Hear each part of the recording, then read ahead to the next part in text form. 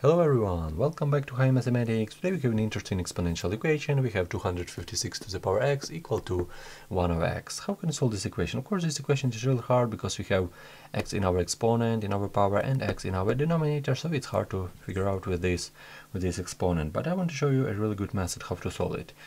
If we raise both sides to the power 1 over x, we will have an interesting case. We will have that 256 to the power x we raise both sides. So this one raised to the power 1 over x equal to 1 over x raised to the power 1 over x. So as you can see, we raise both sides to the power 1 over x. What are we going to do next? Take a look. We have right here a situation like a to the power x raised to the power b.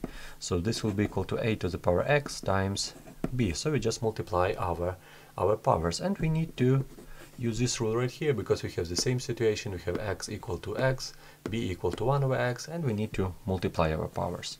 We will have 256 to the power x times 1 over x equal to this the same on the right, 1 over x to the power 1 over x. And if we multiply x times 1 over x, we will have 1. So as a result, we will have 256 to the first power, 256, equal to 1 over x to the power 1 over x.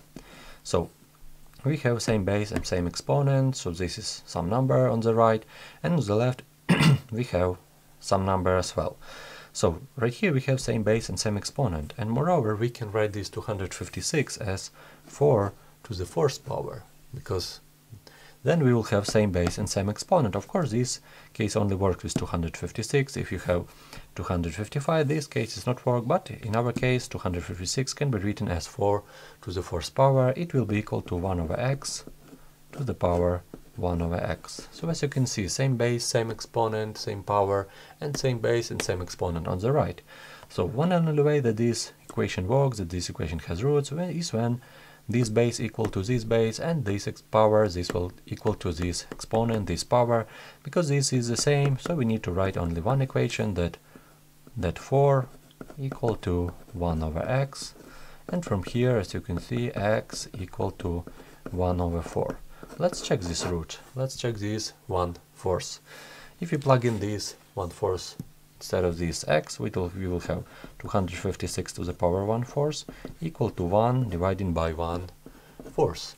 This one show us that we will have fourth root of 256 equal to, and this 4 jump in our denominator. So as a result we will have 4.